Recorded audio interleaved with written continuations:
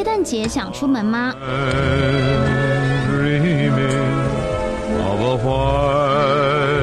现在在美国恐怕很难，家门完全被积雪封死。这波炸弹气旋，纽约州水牛城民众最有感。The snow is so thick and heavy that you can't you can't even get through it.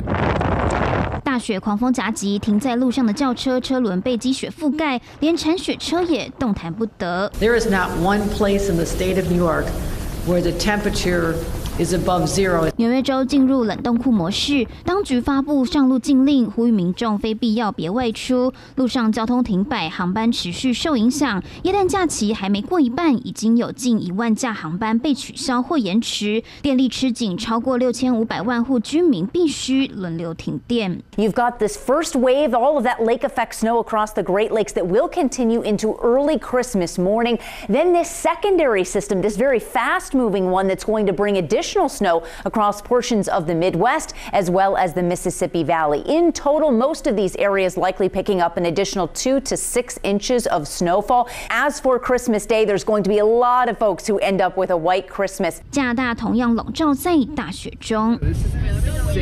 开车上路几乎看不到前方。加拿大安大略省气温降到零下二十七度，整座城市被大雪覆盖。温哥华第二大机场当地时间周二起所有航班停飞， 安大略铁路完全停摆，返乡出游大受影响。It's not been fun.